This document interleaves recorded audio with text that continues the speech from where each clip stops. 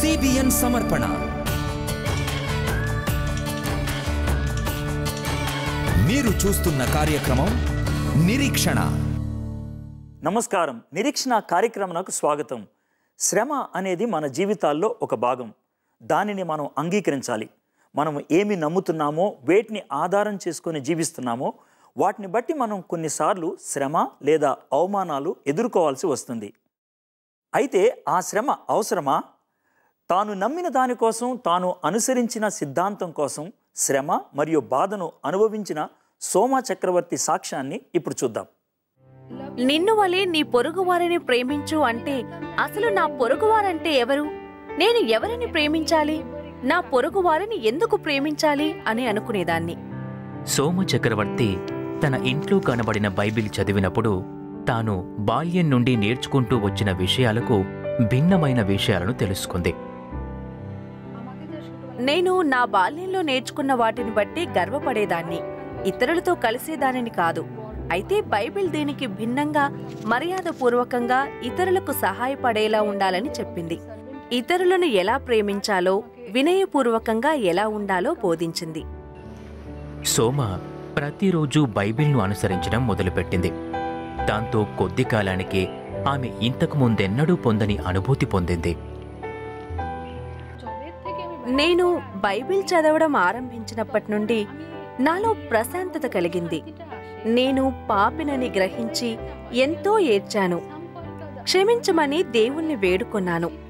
నేను అలా ఏడుస్తూ అడిగినప్పుడు నాలో కలిగిన ఆ ప్రశాంతత నా పదిహేనేళ్ళలో ఎన్నడూ కలగలేదు.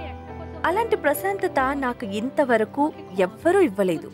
అందుకే నా తల్లిదండ్రులు సోదరుడు నన్ను కొట్టినా ఆ ప్రశాంతత వదులుకోదలుచుకోలేదు. కుటుంబం మద్దతు ఇవ్వకపోయినప్పటికీ సోమ యేసును అనుసరించాలని నిర్ణయించుకుంది. నైన్టీన్ నైన్టీ ఫైవ్ లేదా నైన్టీన్ నైన్టీ సిక్స్లో యేసుక్రీస్తు నా రక్షకుడు అని గ్రహించినప్పుడు నా జీవితాన్నే ఆయనకు అంకితం చేశాను. ఆ రెండేళ్ళలో యేసు నాకు ప్రశాంతత ఆదరణ మంచి ప్రవర్తన ఇలా ఎన్నో ఇచ్చాడు. సోమ విశ్వాసంలో ఎదుగుతున్న సమయంలో ఆమె తన తండ్రిని కోల్పోయింది.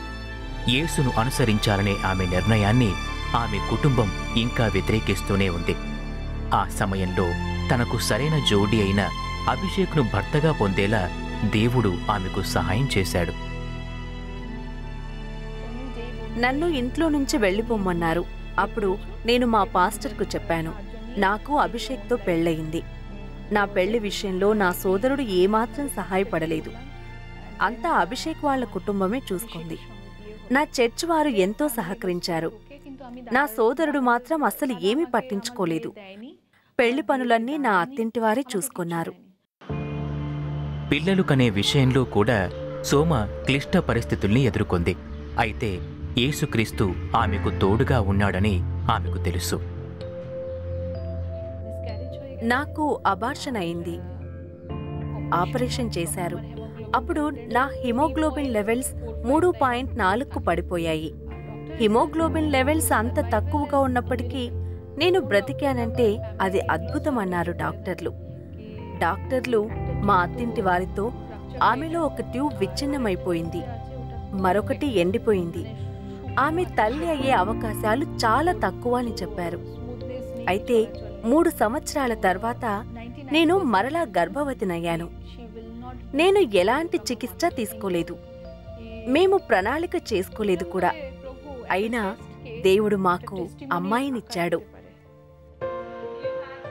తన ఆనందాలు మరియు దుఃఖాలలో బైబిల్ తనకు బోధిస్తూ నడిపిస్తూ తన కుటుంబానికి సాక్షిగా ఉండేలా మార్గదర్శకం చేసిందని సోమ సాక్ష్యమిస్తోంది.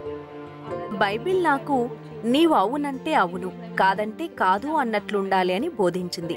బైబిల్ నుండి నేను ఏమి వింటున్నానో దానిని పాటించాలని వినయం కలిగి జీవించాలని బోధించింది. మా కుటుంబ ప్రార్థనల్లో మా అమ్మ మాతో పాటు కూర్చునేది.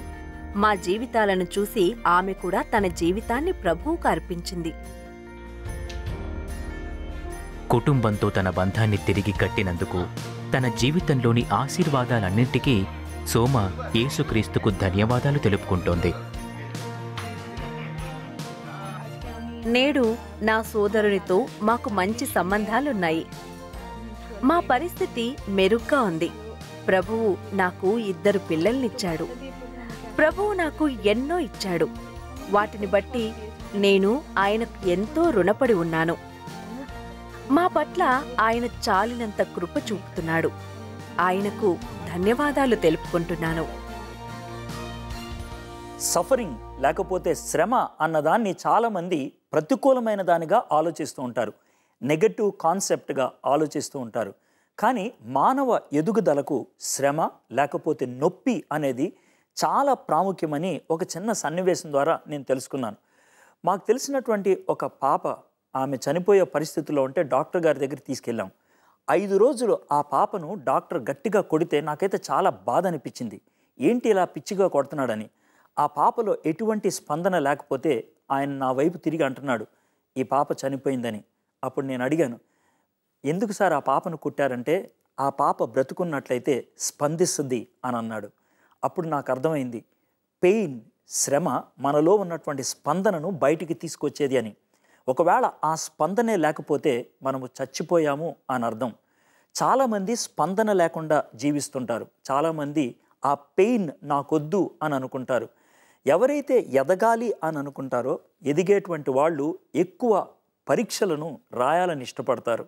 ఉన్నతమైనటువంటి ఉద్యోగాలకు వెళ్ళాలంటే ఎక్కువ పరీక్షలను మనము ఎదుర్కోవాలి. ఆ విధంగా పరీక్షల్లో గెలిస్తేనే మనం పైకి వెళ్ళగలుగుతాం.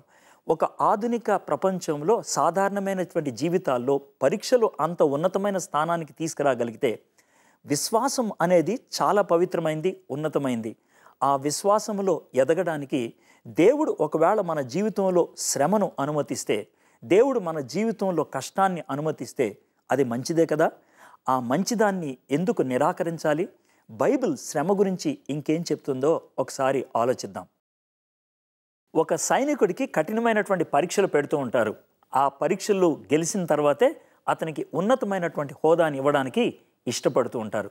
అలాంటి పరిస్థితినే బైబిల్లో ఒక వ్యక్తి జీవితంలో నేను చూశాను. అతను ఎవరో కాదు యోసేపు. యోసేపు చాలా పరీక్షల్లో ఆయన గెలిచాడు. అందుకనే ఉన్నతమైనటువంటి హోదా వచ్చింది. ఏంటి ఆ పరీక్షలు అంటారేమో? తన సహోదరులు తన్ని అమ్మేశారు ఒక బానిసగా. అయినప్పుడు కూడా ఆయన ఎటువంటి గొడవ పెట్టకుండా అలాగే ఉన్నాడు.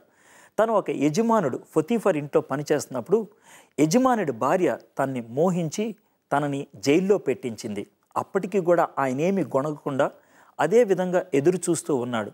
తోటి జైలర్లు ఆయన్ని మోసం చేశారు. ఆయనకి వాగ్దానం చేశారు కానీ మర్చిపోయారు. కానీ యోసేపు మాత్రం యథార్థంగా ఉండడానికే ఇష్టపడ్డాడు. ఒకానొక దినాన్న దేవుడు ఒక చక్కటి అవకాశాన్ని ఇచ్చాడు. ఐగుప్తు దేశానికి ఉన్నటువంటి ఫరోక కలొచ్చింది. ఆ కళకి భావం ఎవరు చెప్తారో అర్థం కాక యోసేపుని పిలిచాడు. యోసేపు భావం చెప్పడంతో యోసేపుకి ఐగుప్తు దేశంలో టాప్ పొజిషన్ ఇచ్చారు. ఫరో తర్వాత అంతటి ఉన్నత స్థానాన్ని యోసేపుకి దక్కింది. యోసేపుకి అలాంటి ఉన్నత స్థానం దక్కడానికి కారణం ఏంటి అని ఒకవేళ అడిగితే నేను అంటాను దేవుడు తనని చాలా రకాలైనటువంటి శ్రమల గుండా వెళ్ళనిచ్చాడు. ఆ శ్రమలన్నట్లో తన క్యారెక్టర్ని తీర్చిదిద్దాడు. ఆ శ్రమలన్నట్లో తన విశ్వాసాన్ని పెంపొందించాడు. ఆ శ్రమలన్నిటిలో తాను ఓర్చుకునేటువంటి తత్వాన్ని ఇచ్చాడు. కాబట్టి ఉన్నతమైనటువంటి హోదాను ఇవ్వడానికి ఇష్టపడ్డాడు. ఒకవేళ ఏ తప్పు చేయకుండా నీతిగా జీవిస్తున్నప్పుడు మీరు శ్రమను ఎదుర్కోవాల్సి వస్తే ఇబ్బందుల్ని ఎదుర్కోవాల్సి వస్తే మీరు దాని విషయమై చింతించొద్దు. ఎందుకనంటే మనము కొండ మీద యేసుప్రభు వారు చేసినటువంటి ప్రసంగములో చూస్తే నీతి నిమిత్తమై శ్రమ పొందువారు ధన్యులు. పరలోక రాజ్యము వారిది అని మనం చూస్తూ ఉన్నాం కదా. దేవుడు మిమ్మల్ని ఉన్నతమైనటువంటి రాజ్యానికి సిటిజన్స్గా చేయడానికి ఇష్టపడుతున్నాడు. తన యొక్క అంబాసిడర్స్గా వాడుకోవడానికి ఇష్టపడుతున్నాడు. కాబట్టి అది ఆధిక్యతగా తీసుకోగలిగితే చాలా బాగుంటుంది. ఒకవేళ ఈరోజు అలాంటి శ్రమల గుండా వెళ్తున్నట్లయితే మీరు బేసిక్గా తీసుకోండి దాన్ని బ్లెస్సింగ్గా తీసుకోవడానికి ఇష్టపడండి. ఈ సమయంలో దేవుడు మీ పట్ల కృప చూపించి ఆ శ్రమను ఎదుర్కోవడానికి సహాయం చేయాలని మనం ప్రార్థన చేద్దాం. మీరు కూడా నాతో కలిసి ప్రార్థన చేస్తారా? శ్రమను తీసే ప్రభు అని కాదు ఈ శ్రమను ఓర్చుకోవడానికి నాకు సహాయం చేయి. ఈ శ్రమలో గెలుపొందటానికి నాకు సహాయం చేయ ప్రభా అని అడుగుదామా? దేవుడు ఖచ్చితంగా మనకి సహాయం చేస్తాడు. ప్రార్థన చేద్దాం.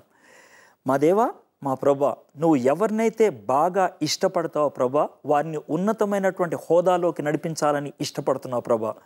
అలాంటి వాళ్ళు ఈ లోకరీత్యా తక్కువ శ్రమ లేకపోతే పెయిన్ గుండా వెళ్ళటం నీ యొక్క మార్గమైతే నీ యొక్క చిత్తమైతే ప్రభా ఆ యొక్క శ్రమను ఎదుర్కోవడానికి కృపను చూపించమని అడుగుతున్నాం నీకోసం మహిమకరంగా జీవించడానికి సహాయం చేయమని అడుగుతున్నాం ఈ ప్రార్థన విన్నందుకు మీకు వందనాలు. ఏసే నామంలో ప్రార్థన చేయించున్నాం. Amen amen. యేసుక్రీస్తు మీకోసం మరియు నా కోసం చనిపోయాడు. ఆయన మన కోసమే శ్రమ పొంది సిలువపై మరణించాడు. కాబట్టి ఆయన కోసం మనము పొందుతున్న శ్రమను ఆయన అర్థం చేసుకుంటాడు. మనకు కావలసినటువంటి శక్తిని కృపను అనుగ్రహించడానికి ఆయన ఇష్టపడుతున్నాడు. అంతేకాదు మనము పొందినటువంటి శ్రమలకు తగిన బహుమానాన్ని ఆయన ఖచ్చితంగా ఇస్తాడు. అది ఎలాగో మరింత వివరంగా తెలుసుకోవాలని ఆశపడుతున్నారా? మాకు ఫోన్ చేయండి. మా సిబ్బంది వారు మీతో మాట్లాడతారు మీకోసం ప్రార్థన చేస్తారు. చూస్తూనే ఉండండి. మీ నిరీక్షణ.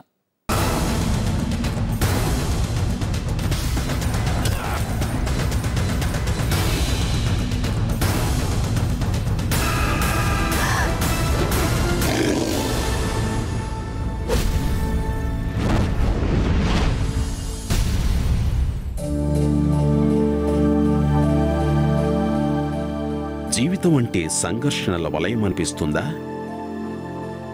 మీ జీవితం మీది కాదు అనిపిస్తుందా? మిమ్మల్ని ఎవరూ అర్థం చేసుకోవటం లేదా? అయితే మౌనంగా రోధించకండి. మీరంటే శ్రద్ధ చూపేవారితో ఇవాళే మాట్లాడండి. సున్నా ఎనిమిది నాలుగు ఒకటి ఎనిమిది మూడు సున్నా ఎనిమిది ఏడు ఏడు ఏడు అనే మా నంబరుకు ఫోన్ చేయండి. మనము ఎదుర్కొనే ప్రతి పరిస్థితి యేసుక్రీస్తుకు తెలుసు. మనం శ్రమల గుండా వెళ్తున్నప్పుడు ఆయన మనతోనే ఉంటాడు. మనల్ని ఆదుకుంటాడు. అది ఎలాగో ఈ పాట ద్వారా తెలుసుకుందాం.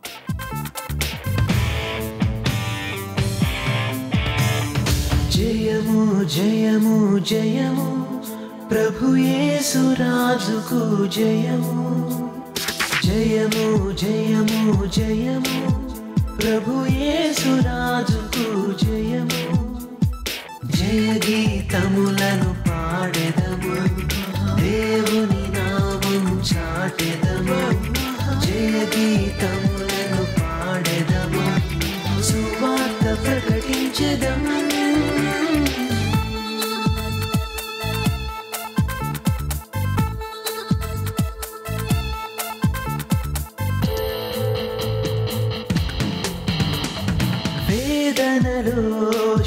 శోధనలో మనలను హత్తుకొని క్షేమమును సంతోషమును మనకు దయచేసన్. వినయముతో విశ్వాసముతో స్థిరముగా క్రీస్తుతో నడిచెదము వినయముతో విశ్వాసముతో సజీవ వాక్యము చాటెదము హలలు హోసానా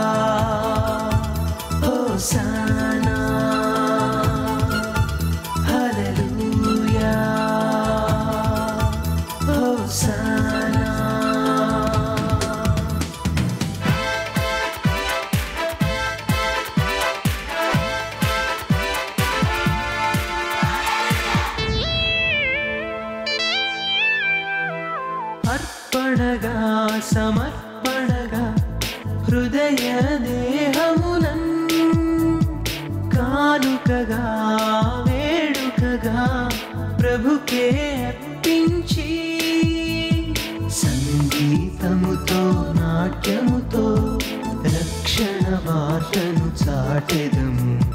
సంతోషమునే పంచెదము నిరీక్షణతో జీవించెదము. హలలు హోసానా. హల్లెలూయా. హోసానా. జయము జయము జయము. ప్రభు యేసురాజుకు జయము. జయము జయము జయము. ప్రభు యేసురాజుకు జయము. జయ గీతములను పాడెదము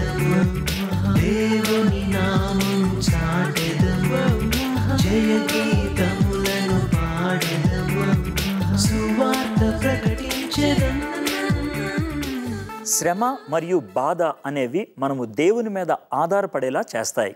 మనం బాధలో ఉన్నప్పుడు మనం దేవునికి మరింత దగ్గరగా వస్తాం. అంతేకాదు మనం శ్రమల గుండా వెళ్తున్నప్పుడు ఆయన మనకు మరింత సన్నిహితుడిగా ఉంటాడు. ప్రతి ఆపద నుండి కాపాడతాడు. ఈ కార్యక్రమం మీకు ఆశీర్వాదకరంగా ఉందా? అయితే మీ స్నేహితులు మరియు బంధువులకు ఈ కార్యక్రమం గురించి చెప్పడం మర్చిపోవద్దు. తిరిగి మరో ఎపిసోడ్లో మళ్ళీ కలుసుకుందాం. అప్పటి వరకు దేవుడు మనకి తోడుగా ఉండనుగాక. గాక జయ గీతములను పాడెదమా సువార్త ప్రకటించెదమ్మా.